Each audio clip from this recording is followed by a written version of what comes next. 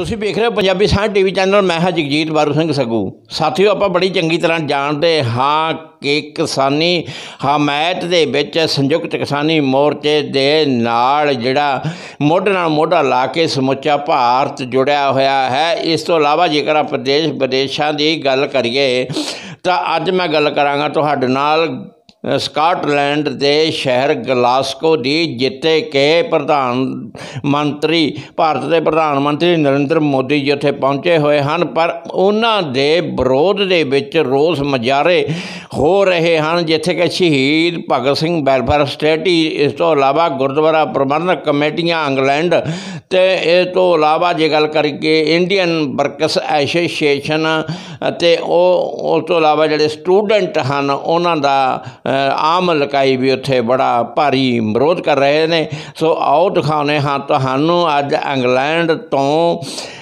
ਸਰਦਾਰ ਮਲਕੀਤ ਸਿੰਘ ਝਿੰਗੜ ਜੋ ਕਿ ਕੋਹੇ ਨੌਰ ਰੇਡੀਓ ਦੇ ਸੰਚਾਲਕ ਹਨ, ਉਹਨਾਂ ਵੱਲੋਂ ਜੋ ਰਿਪੋਰਟ ਭੇਜੀ ਗਈ ਹੈ। ਆਓ ਤੁਹਾਨੂੰ ਦਿਖਾਉਂਦੇ ਹਾਂ ਸਕਾਟਲੈਂਡ ਦੇ ਗਲਾਸਕੋ ਸ਼ਹਿਰ ਦੀ ਇਹ ਰਿਪੋਰਟ।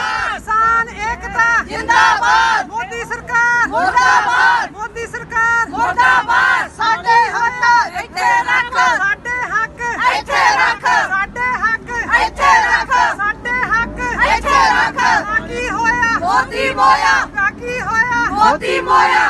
ਕਿਸਾਨ ਏਕਤਾ। ਜਿੰਦਾਬਾਦ। ਕਿਸਾਨ ਏਕਤਾ। ਕਿਸਾਨ ਏਕਤਾ। ਜਿੰਦਾਬਾਦ।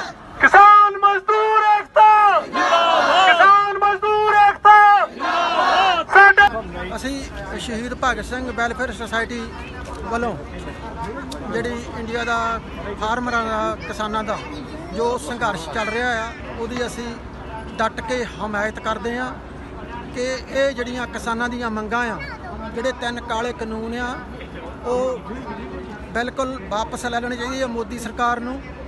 ਇਸ ਤੋਂ ਬਿਨਾਂ ਜਿਹੜੀਆਂ ਕਿਸਾਨਾਂ ਦੀਆਂ ਹੋਰ ਮੰਗਾਂ ਵੀ, ਉਹ ਵੀ ਜਿਹੜੀਆਂ ਜਾਇਜ਼ ਆ, ਸਾਰੀਆਂ ਮੰਗਾਂ ਉਹਨਾਂ ਦੀਆਂ ਜਾਇਜ਼ ਆ, ਉਹ ਮੰਨ ਲੈਣੀਆਂ ਚਾਹੀਦੀਆਂ।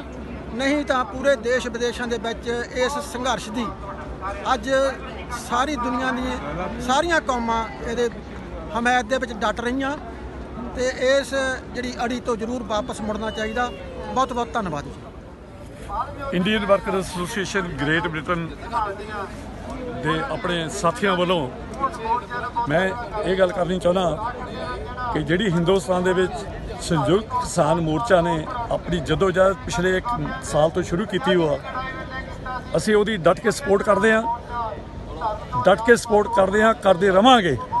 ਬੇਸ਼ੱਕ ਸਾਨੂੰ ਜਿਹੜੀ ਮੋਦੀ ਦੀ ਸਰਕਾਰ ਆ, ਜਾਂ ਜਿਹੜੇ ਫਾਸ਼ਿਸਟ ਆ ਸਾਨੂੰ ਇਹ ਡਰਾਉਣ ਦੀ ਕੋਸ਼ਿਸ਼ ਕਰ ਰਹੇ ਆ। ਤੁਹਾਡੇ ਅਸੀਂ ਓਏਸੀ ਕੈਨਸਲ ਕਰ ਦਿਆਂਗੇ, ਤੁਹਾਡੇ ਵੀਜ਼ੇ ਕੈਨਸਲ ਕਰ ਦਿਆਂਗੇ। ਸਾਨੂੰ ਇਸ ਗੱਲ ਦੀ ਕੋਈ ਪਰਵਾਹ ਨਹੀਂ। ਅਸੀਂ ਮੋਦੀ ਨੂੰ ਇਹ ਵੀ ਦੱਸਣਾ ਚਾਹੁੰਦੇ ਆ ਕਿ ਤੂੰ ਪਹਿਲਾ ਬੰਦਾ ਨਹੀਂ ਜਿਹੜਾ ਸਾਡੇ ਵੀਜ਼ੇ ਕੈਨਸਲ ਦੀ ਕਰਨ ਦੀ ਗੱਲ ਕਰ ਰਹੇ। ਆ ਸਾਡੇ ਜਿਹੜੇ ਗਦਰ ਪਾਰਟੀ ਦੇ ਜਿਹੜੇ ਸਾਡੇ ਸਾਥੀ ਸੀਗੇ, ਉਹਨਾਂ ਦੇ ਵੀ ਵੀਜ਼ੇ ਕੈਨਸਲ ਕੀਤੇ ਗਏ। ਕੀ ਉਹਨਾਂ ਨੇ ਜਾ ਕੇ ਹਿੰਦੁਸਤਾਨ ਸਟਰਗਲ ਲੜੀ ਨਹੀਂ? ਅਸੀਂ ਉਹਨਾਂ ਨੂੰ ਚੈਲੰਜ ਕਰਦੇ ਹਾਂ, ਸਾਡੇ ਵੀਜ਼ੇ ਕੈਨਸਲ ਕਰ ਦਿਓ, ਅਸੀਂ ਜਾਵਾਂਗੇ, ਲੜਾਂਗੇ, ਉਹਨਾਂ ਦਾ ਸਾਥ ਦੇਵਾਂਗੇ।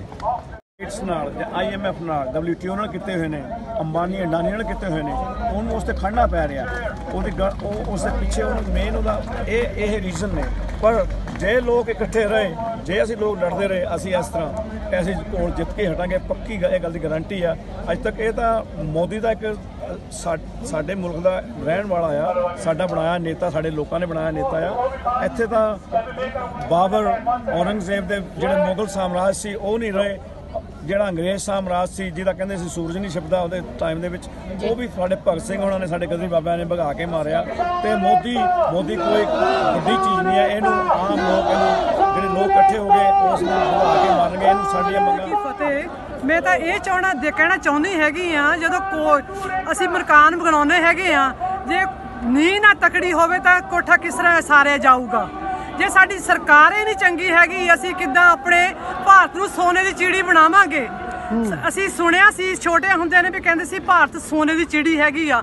ਮੈਨੂੰ ਤਾਂ ਲੱਗਦਾ ਹੁਣ ਮਿੱਟੀ ਦੀ ਚਿੜੀ ਵੀ ਨਹੀਂ, ਉਹ ਵੀ ਖੁਰ ਗਈ ਲੱਗਦੀ ਹੈਗੀ ਹੈ ਨਾ ਸਾਡੀ ਕਿਸਾ- ਸਾਡੀ ਜਿਹੜੀ ਕਿਸ- ਹੈਗੀ ਆਪਣੀ ਕਿਸਾਨ ਜਥੇਬੰਦੀਆਂ, ਇਹ ਤਾਂ ਕਿੰਨਾ ਇਹਨਾਂ ਆਪਣੇ ਸ਼ਹੀਦੀਆਂ ਦੇ ਹੀ ਜਾਂਦੇ ਹੈਗੇ ਆ, ਨਾ? ਪਰ ਸਰਕਾਰ ਉੱਥੇ ਦੀ ਅੱਖਾਂ ਖੋਲ ਕੇ ਸੁਣੇ ਨਹੀਂ ਰਹੀ ਹੈਗੀ। ਕਿਸਾ- ਕਿਸਾਨਾਂ ਦਾ ਕੋਈ ਇੰਨਾ ਜ਼ੁਲਮ ਕਰਨ ਦੀ ਕੀ ਲੋੜ ਪਈ ਹੈ. Uh, this man is evil. Everybody knows he's evil. but nobody speaks about it in India because everybody's so scared.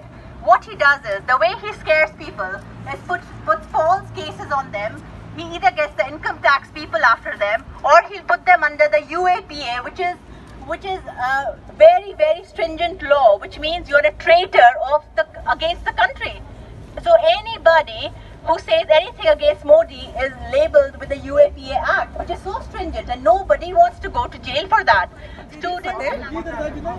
ਜਿਹੜਾ ਸਾਡਾ ਭਾਰਤ ਦੇਸ਼ ਆ, ਜਾਂ ਸਾਡਾ ਪੰਜਾਬ ਆ, ਸਾਡਾ ਪੰਜਾਬ ਜਿਹੜਾ, ਉਹ ਸਾਰਿਆਂ ਦੇ ਸਾਰੇ ਸਟੇਟਸ ਨੂੰ, ਭਾਰਤ ਦੀਆਂ ਜਿੰਨੀਆਂ ਵੀ ਸਟੇਟਸ ਆ, ਉਹਨਾਂ ਨੂੰ ਖਾਣ ਨੂੰ ਦਿੰਦਾ ਆ। ਬਾਕੀ ਸਾਡੇ ਆਪਣੇ ਹੀ ਲੀਡਰ ਚਾਹੇ ਕੋਈ ਵੀ ਲੀਡਰ ਆ, ਕੋਈ ਅਕਾਲੀ ਆ, ਕੋਈ ਖਾ- ਕਾਂਗਰਸੀ ਆ, ਜਾਂ ਬੀਜੇਪੀ ਆ, ਕੋਈ ਵੀ ਆ, ਸਾਡੇ ਪੰਜਾਬ ਨੂੰ ਥੱਲੇ ਲਾਉਣ ਦੇ ਬਾਰੇ ਸੋਚਦੇ ਆ। ਆ ਸਾਡੀ ਪੰਜਾਬੀ ਬੋਲੀ ਨੂੰ ਖਤਮ ਕਰਨ ਤੇ ਤੁਲੇ ਹੋਏ ਆ।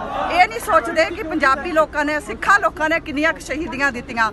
ਅਸੀਂ ਸਾਰੇ ਗੁਰੂ ਗੋਬਿੰਦ ਸਿੰਘ ਜੀ ਦੇ ਬੱਚੇ ਆ। ਅਸੀਂ ਉਹਨਾਂ ਦੀ ਕਈਆਂ ਹੋਈਆਂ ਗੱਲਾਂ ਤੇ ਚੱਲਦੇ ਆ, ਉਹਨਾਂ ਦੇ ਪੂਰਨਿਆਂ ਤੇ ਚੱਲਣਾ ਆ। ਅਸੀਂ ਆਪਣੇ ਪੰਜਾਬ ਨੂੰ ਅਸੀਂ ਟੁੱਟਣ ਨਹੀਂ ਦੇਣਾ, ਜਿਹੜੇ ਸਾਡੇ ਹੋਰ ਭੈਣ ਭਰਾ ਵੀ, ਸਾਡੇ ਫਾਰਮਰ ਵੀ ਬੈਠੇ ਆ। ਸ- ਅਸੀਂ ਸਾਰੇ ਫਾਰਮਰ ਆ, ਉੱਥੋਂ ਆਏ ਆ। ਜੇ ਅਗਰ ਫਾਰਮਰ ਕਿਸਾਨੀ ਨਾ ਕਰੂਗੇ, ਤਾਂ ਅਸੀਂ ਖਾਵਾਂਗੇ ਕਿੱਥੋਂ? ਇਹ ਮੋਦੀ ਜਾਂ ਕੋਈ ਵੀ ਆ, ਇਹ ਖਾਊਗਾ ਕਿੱਥੋਂ? ਇਹ ਪੈਸੇ ਖਾਊਗੇ? ਪੰਜਾਬ ਦੇ ਕਿਸਾਨ ਜਿਹੜੇ ਆ, ਇੰਨੀ ਮਿਹਨਤ ਕਰਦੇ ਆ, ਉਹਨਾਂ ਨੂੰ ਫਿਰ ਵੀ ਕੁਚਲਿਆ ਜਾ ਰਿਹਾ। ਉਹਨਾਂ ਦੀ ਕੋਈ ਸੁਣਵਾਈ ਨਹੀਂ ਹੈ ਇਹ ਕਾਲੇ ਕਾਨੂੰਨ ਵਾਪਸ Very slowly, they came from the roofs and came onto the streets in their masses.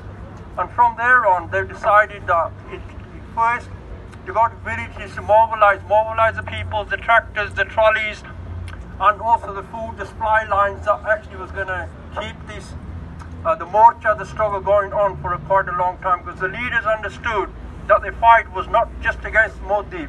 the fight was against the big corporations, the big multi, multinational companies, the IMF, the World Bank, and the, and, the, and the leaders they knew quite well, and they explained to the people it's going to be a long struggle. So the people were mentally prepared for this long haul that, that is now at the, at the, at the, at the, at the borders of Delhi. And I'm, I can assure you the struggle will continue. It might take two years, years, four years, but we've got to understand these are long struggles. It's not like short struggles that we're fighting for small things. This is going to be a big struggle. And the cooperation on the Western countries, Chile, imperialist countries, they might be giving of support to the farmers, but they actually they are supporting the bills that the Modi government has implemented because the whole purpose of this is to privatize everything. I've been to India, everything is privatized, the healthcare, the schools and everything. If you fall ill and you ain't got no money, you know, hard luck. There's there's nobody, the hospital won't let you in at all. And even if you're passed away and you've got the money in the hospital, you're lying on the bed, they won't release the body until you have actually paid them. The doc- ਇੱਕ ਖਾਸ ਮਕਸਦ ਲਈ ਇਕੱਠੇ ਹੋਏ ਹੋ ਹਿੰਦੁਸਤਾਨ ਦੇ ਵਿੱਚ ਜਿਹੜਾ ਸੰਯੁਕਤ ਕਿਸਾਨ ਮੋਰਚਾ ਪਿਛਲੇ ਕਾਫੀ ਦੇਰ ਤੋਂ ਇੱਕ ਸਾਲ ਤੋਂ ਤਕਰੀਬਨ ਜਿਹੜੀ ਸਟਰਗਲ ਉਹ ਚੱਲ ਰਹੀ ਆ ਉਹਦੀ ਹਮਾਇਤ ਵਿੱਚ ਇਕੱਠੇ ਤੁਸੀਂ ਹੋਏ ਹੋ। ਮੈਂ ਜ਼ਿਆਦਾ ਗੱਲਬਾਤ ਨਹੀਂ ਕਰਨੀ ਕਿਉਂਕਿ ਸਾਡੇ ਸਤਿਕਾਰਯੋਗ ਬੁਲਾਰਿਆਂ ਨੇ ਆਲਰੇਡੀ ਸਾਰੀ ਕੁਝ ਐਕਸਪਲੇਨ ਕਰ ਦਿੱਤਾ। ਇੱਕ ਦੋ ਨਾਰੇ ਲਾਉਂਗਾ ਉਸ ਤੋਂ ਪਹਿਲਾਂ ਇੱਕੋ ਹੀ ਗੱਲ ਜਿਹੜੀ ਆ ਉਹ ਮੈਂ ਕਰਨੀ ਚਾਹੁੰਦਾ। ਹਿੰਦੁਸਤਾਨ ਦੀ ਫਾਸ਼ੀ ਸਰਕਾਰ ਨੇ ਸਾਨੂੰ ਧਮਕੀ ਦਿੱਤੀ ਹੈ ਜਿਹੜੇ ਅਸੀਂ ਬਾਹਰ ਰਹਿੰਦੇ ਆ ਕਿ ਅਸੀਂ ਤੁਹਾਡੇ ਓਆਈਸੀ ਕਾਰਡ ਕੈਨਸਲ ਕਰ ਦਿਆਂਗੇ ਅਸੀਂ ਤੁਹਾਨੂੰ ਆਉਣ ਤੋਂ ਬੰਦ ਕਰ ਦਿਆਂਗੇ। ਅਸੀਂ ਇਹ ਜਿਹੜਾ ਹੈ ਉਹਨਾਂ ਦਾ ਚੈਲੰਜ ਐਕਸੈਪਟ ਕਰਦੇ ਹਾਂ। ਸਾਨੂੰ ਬੰਦ ਕਰਕੇ ਦੇਖਣ। ਅੱਜ ਤੋਂ 100 ਪੂਰੇ 150 ਸਾਲ ਪਹਿਲਾਂ ਸਾਡੇ ਗਦਰੀ ਬਾਬਿਆਂ ਨੂੰ ਉਹਨਾਂ ਨੇ ਬੰਦ ਕਰਨ ਦੀ ਕੋਸ਼ਿਸ਼ ਕੀਤੀ ਸੀਗੀ ਉਹ ਰੁਕੇ ਆ। ਉਹਨਾਂ ਨੇ ਉੱਥੇ ਜਾ ਕੇ ਇਨਕਲਾਬ ਸ਼ੁਰੂ ਕੀਤਾ 1900 ਕਿ- ਜਿਹੜੀ 12 13 14 15 ਜਿਹੜੀ ਲਹਿਰ ਸੀਗੀ। ਹੁਣ ਵੀ ਅਸੀਂ ਮੋਦੀ ਉਹ ਜਿਹੜੇ ਫਾਸ਼ਿਸਟ ਇੱਥੇ ਦੇ ਹੈਗੇ ਆ ਉਹਨਾਂ ਨੂੰ ਕਹਿੰਦੇ ਆ ਤੁਸੀਂ ਸਾਡੇ ਵੀਜ਼ੇ ਕੈਨਸਲ ਕਰੋ ਅਸੀਂ ਆਵਾਂਗੇ ਅਸੀਂ ਉਹੀ ਕੰਮ ਕਰਦੇ ਰਵਾਂਗੇ ਜੋ ਅਸੀਂ ਕਰਦੇ ਰਹੇ ਆ।